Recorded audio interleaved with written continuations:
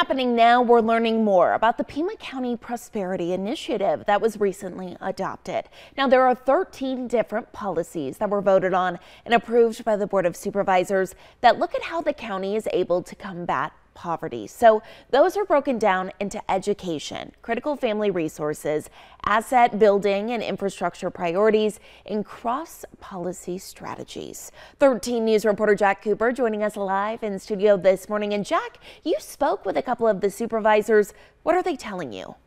Yeah, Carson, good morning. That's right. I spoke with Steve Christy, who is against this measure, and then Matt Heinz, one of the three who actually voted in favor of these new policies. We're going to start with Christy. He says there's a number of reasons why he did not vote for this, but the most concerning to him was that this was voted on before Sharon Bronson's seat was actually filled.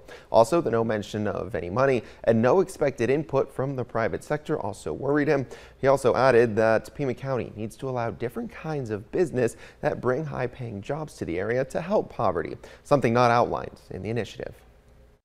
I'm all in favor of responsible, environmentally conscious uh, industries, uh, but the extent of the climate change and the Green New Deals that my uh, colleagues seem to be promoting is going to be a real hindrance to bringing in uh, companies into our community.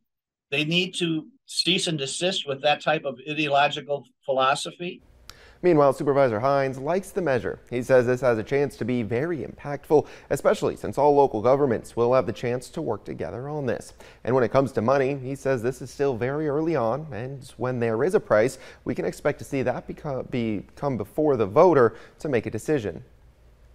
I think this has been a long time coming. And the fact that these 13 major points were also data driven, we know this will help because it helped in these other places when it was implemented in this and that way, right? Having such care uh, being taken to to make recommendations that we know will have a, the positive impact we're looking to to create for the community.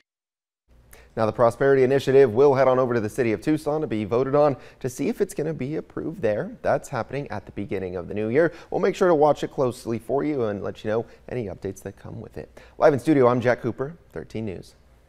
All right, Jack, thank you. Speaking of Pima County supervisors, they are now full